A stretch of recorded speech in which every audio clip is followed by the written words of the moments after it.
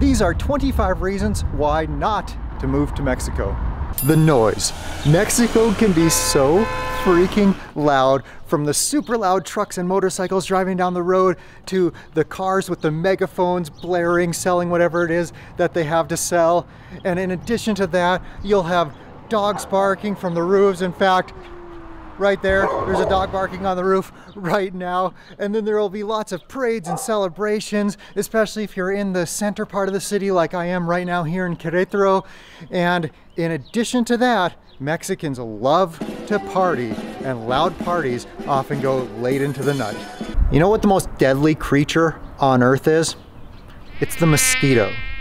And since in Mexico we're getting down into the tropics, we have dengue fever here. And it is very common for people to get dengue fever. In fact, I'm pretty lucky that I've been living here and around the country for five years and I haven't gotten it yet. But it can be super serious and I hope I never get it, but it is something to consider if you're thinking about living in Mexico. And in addition to dengue, there's also other mosquito-borne illnesses here as well, like Zika, for example. I know that I'm gonna get like a thousand comments on this video that are like, if you hate it so much, why don't you just go back to your country? Well, there's a lot more that I love about Mexico than dislike, and not all the things on this list apply to me. In fact, I could live anywhere in the world, but I choose to live in Mexico because I love it here. So keep that in mind as we go on to the next one. I don't drink beer, but I hear from craft beer lovers all the time that they're super disappointed with the selection here in Mexico. And even when they find a good brewery, like one of the better ones here, they still say that it just doesn't compare to the good craft breweries in the US. Next one. Although most things here are quite a bit more affordable than the US or Canada, if you're looking for a really cheap country to live in, you might want to look elsewhere. Like a place like Nicaragua or Cambodia, your money is going to go a whole heck of a lot further than it will here in Mexico. To give you an idea of prices, most things here, most services, rents, doctor's appointments, things like that are going to cost about one half to one third of what they cost in Phoenix, Arizona. And that leads me into my next thing, and that is that certain items here are actually more expensive than they are in the US because in addition to the cost of shipping it here, everything you buy here includes a 16% sales tax. So if you want the new iPhone, that's probably gonna cost you about 20% more than whatever you would pay in the US. And also things like name brand clothing. Basically anything you would find in a mall is probably also going to be more expensive than it would be in the United States. And in addition to that, like in the US, if you're shopping there, you can find so many great sales and clearance deals. And those amazing sales don't really happen much here. So it's a lot harder to find really great deals on clothing here than it is in the United States. I'm in the beautiful Querétaro Centro right now, and many of the foreigners who come to this colonial city actually want to live here in Centro. And the plaza I'm in right now started being developed around 500 years ago, as did the surrounding areas. So a lot of the homes here are quite old and if you want to live in one of the homes here in Centro, you're probably not going to be able to flush your toilet paper. Now, I've lived in quite a few homes across Mexico, and I've been able to flush my toilet paper in every single one of them, but that's because I've been seeking out newer accommodations, ones that have been built more recently. And if you're into that older style of home, there's a good chance that you're not gonna be able to flush your TP and you're gonna have to put it face down into the trash can. Gross. Something that might take a little bit of adjusting to in Mexico is that public bathrooms are not free. If you want to use a free bathroom, you can do it at home, at a friend's house, at a restaurant, or at a mall. But anywhere else, you're gonna have to pay for that. Like here, if you want to go to the bathroom at a convenience store, it's probably gonna be about five pesos and a lot of times they won't even have soap to wash your hands. Sometimes they won't even provide any toilet paper and many times it's nasty. So it's like you're paying five pesos for this gross bathroom. It's like what am I even paying for? So that can be a little bit of an adjustment. Okay I promise I'm almost done with the bathroom topic but the next thing is Montezuma's revenge. Just this week I had food poisoning and it was miserable. I ate something bad and I was sick for almost a week. Normally when I get food poisoning, I'm better like the next day, but it was four days later and I started getting worse. So then I went to the doctor and got antibiotics and now I'm finally feeling better. But man, that was a miserable few days. So here you can't drink the water and you're gonna have to be a bit more careful about what you eat so you can avoid Montezuma's revenge. Right here on the corner, there's a pile of trash that's waiting for the garbage people to come pick it up. And this is pretty common. Like trash is collected different here. People just put their trash out on the street corner in certain cities, like in Puerto Vallarta, for example, they put it in the middle of many of the streets. And if you were like, well, I'm gonna do this a little bit cleaner and I'm gonna buy a garbage can and I'm gonna put my trash out in a garbage can, well, that's probably gonna get stolen and then the trash will just be left there. So things work a little bit differently here. And then I pan up here and there's a tangled mess of wires. And that tangled web of wires you see up there, well, that's pretty common here. As a matter of fact, one time I was at home looking out my window about five feet away at this web of wires like that and they started on fire. There was a fire literally right outside of my window. It was crazy. But building codes and safety codes work different here. Like if a safety inspector came to Mexico from the US, they would be like, how is anyone still alive here? We have to shut the entire country down.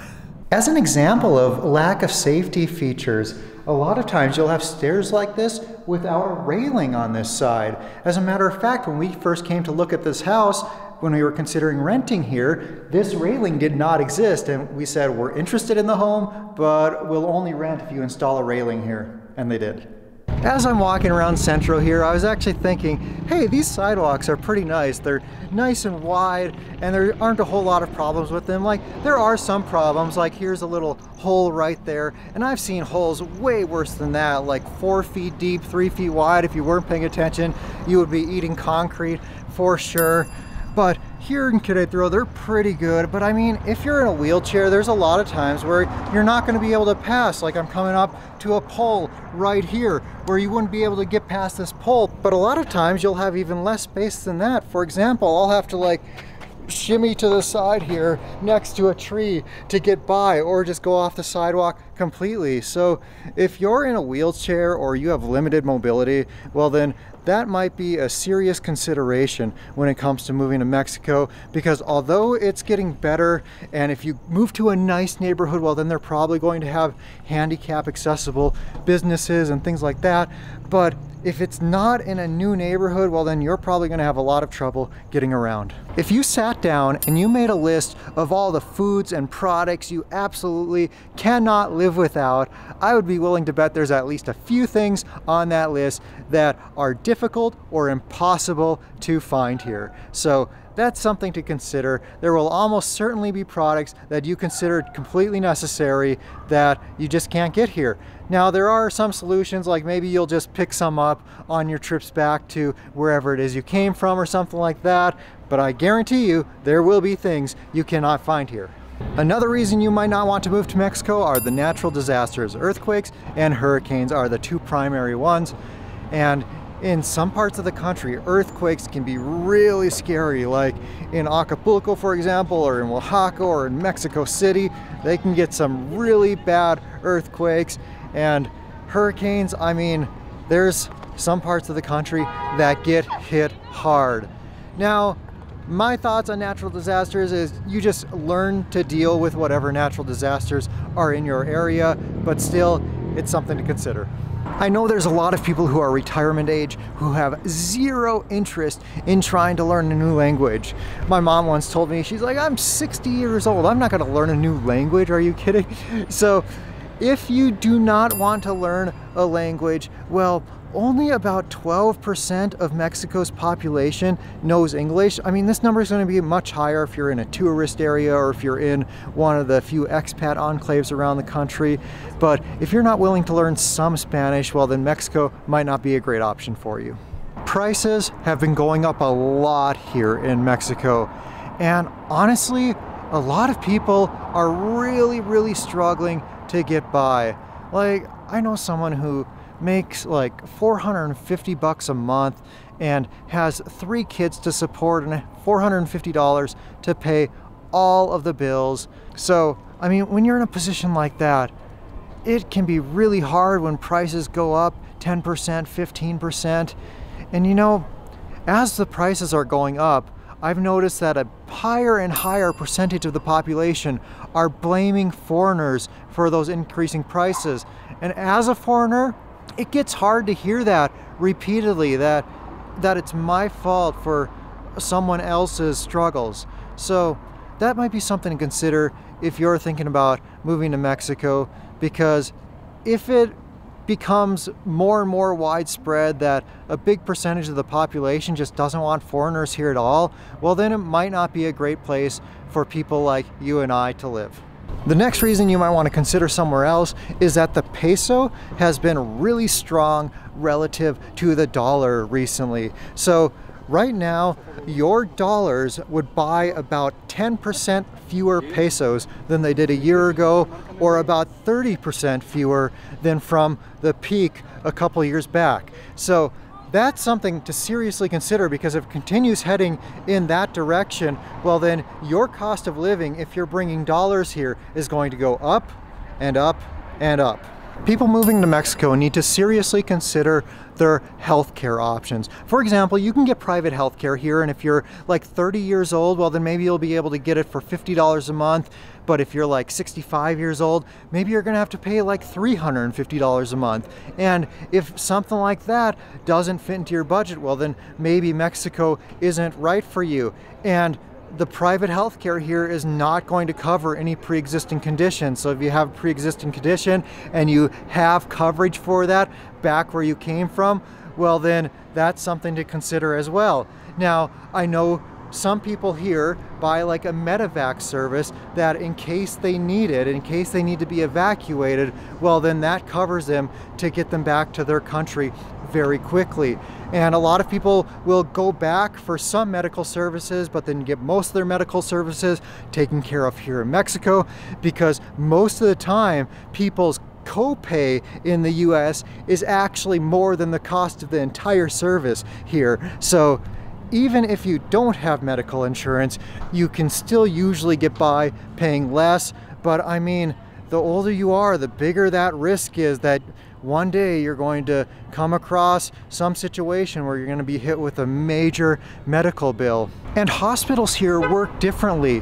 Like, for example, I know someone who had a heart attack and needed immediate emergency heart surgery. And the doctors were like, okay, we can do this, but you have to pay 100,000 pesos right now. That was the cost of the surgery, about 5,000 US dollars. And if they didn't have the money, the surgery wasn't going to happen. So if you don't have the money for a major surgery like that, you could literally die because of it. And by the way, in most cases for those emergency medical services, either cash or credit is going to be just fine. So if you have sufficient credit limit on your credit card, well then that's going to be okay too, as long as they can get their money before they do the surgery. Something that's really hard for a lot of people living in Mexico, and this is for me too, is seeing all the street dogs who are suffering. Now there's some places with a lot more street dogs than other places, and in a lot of places they're well fed, but damn, I've seen some really sad situations in many places around the country, and it is heartbreaking. Throughout my five years living in Mexico, as someone who works online and has to upload videos, internet speeds and internet reliability has been a huge frustration for me. Generally, the bigger the city, the better the internet is going to be, but even if you're in a small town, some small towns you can still get fast fiber optic speeds. But here, I'm living in Querétaro and I do have fiber optic internet at my place. However, the internet goes out like once a week. It's super frustrating and I've tried to contract an internet service with another company, but there's only one company as of right now that provides fiber optic at my location and this company sucks. But the last place I lived, I had super fast speeds and the internet never went out once in 18 months. So that was amazing. So I've had great experiences and I've had horrible experiences and I've lived in places where the internet was super slow. One reason why you might not want to move to Mexico is if you're hoping to get a job here because working as an employee here, you're going to be paid significantly less than what you would earn for the same job in the US. To give you an idea of what you might be earning, a nurse here might make $600 a month, an engineer might make $1,500 a month, $2,000 a month, and if you can make $2,000 a month, as an employee here, you're in the top 1% of wage earners, so that puts you up there with the doctors and such. Another reason you might not want to move to Mexico is that things are just done differently here, and a lot of things can be really frustrating for us coming from the US or Canada. I'll give you one example of a recent frustration I had. So I signed up for internet, fiber optic internet with this company Telmex and they said they would be installing it in about a week and then two or three weeks went by we didn't hear anything from them so then we contacted them and they're like oh yeah we actually don't have fiber optic in that area yet uh, we only have copper cables so yeah that's why we didn't come and it's like well why didn't you tell us send us an email how about hey sorry we thought we had service there but unfortunately we don't yet but then, six months later, six months, I get an email from them saying, Your internet will be installed in a few days. It's like, What? What? No, I thought that was canceled many months ago. And now you say you're going to install it. And then that in a few days email was about a month ago, and I keep getting those emails. So who knows if we're ever going to get that Telmex internet here. And another reason is internet here can be slow. Generally, the bigger the city, the faster and better internet options are going to be available. But in a lot of small towns, oh my gosh, the internet has been painfully slow. Now, a lot of times, if you're renting short term, you're subject to whatever the Airbnb host or the hotel purchases. And in that case, a lot of times you're going to be stuck with really slow internet. Now, if you have your own home, like your own long term rental or your own home that you bought, well, you can probably get faster speeds. But again, in like these small towns, a lot of times those fast speeds still aren't available. One reason a lot of people think that Mexico is not for them or end up leaving Mexico is because they just cannot stand the police corruption. Now, this police corruption happens in a few pockets of the country mostly. So that's mostly like the area near San Diego, around Mexico City, and around Cancun and the Riviera Maya. Outside of those three areas, it doesn't happen a whole lot, and thankfully, in five years of living in Mexico, I haven't experienced it yet. But I know people who have had a lot worse luck than I have when it comes to dirty cops. Another reason why you might choose someplace other than Mexico is safety. If you want a place where you can walk around alone any time of day or night and not have to have any worries about it, well then maybe Mexico isn't right for you. A lot of people have this perception here that if you leave the resort, something terrible is going to happen to you. Like you'll get um, robbed or murdered or raped or something horrible like that that's definitely way overblown that perception. But if you look at a list of like the 10 most dangerous cities in the world, I just saw one of these, and something like five of them were here in Mexico. So Mexico certainly has its safety issues. There are some things you can do to make your life more safe. For example, living in one of the safer cities. We live in Querétaro, which is considered one of the safer cities in the country. Also, something else we did is we rented a house in a nicer gated neighborhood, so that increases your safety level quite a bit. So, things like that. You can exercise caution, get a security system, get a dog. There's things you can do to make your life safer here. But safety is one reason why some people choose to not live here. If you're an American and you want to move somewhere that's nothing like where you live, well, that is one reason why you might not want to choose Mexico. Because especially in the bigger cities here, it's becoming much more Americanized. There's lots of US businesses moving in. For example, here in Querétaro, we have HEB, we have Walmart, Costco, PF Chang's, Starbucks, Burger King, McDonald's. Soon we're going to have like 50 Tim Hortons. And the list of US and Canadian companies goes on and on and on. There are so many of them here.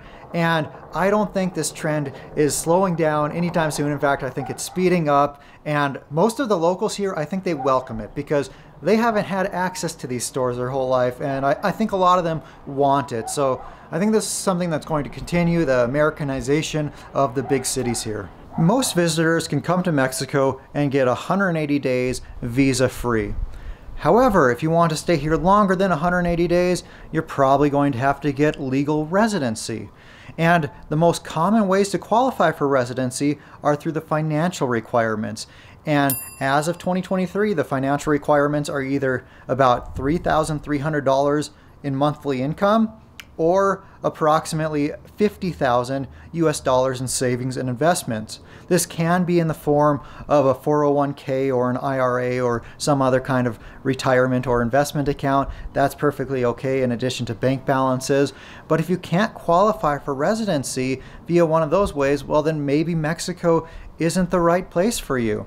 Now, if you can't qualify one of those ways, there are other ways you can get it. However, those are by far the most popular ways to get residency. There's a lot of Americans and Canadians that come vacation in Mexico, usually to some popular beach destination. And after coming here, they're like, oh my gosh, this is so amazing. We should move here. But what happens with these popular tourist destinations is it attracts a lot of scammers. So if you're coming to live in one of these places, you're going to have to deal with scammers, and that's just kind of a fact of life here. As a matter of fact, I just went to Cancun and scammers there tried to put me in jail. I made a video about that so you can watch that one next and I'll see you over there.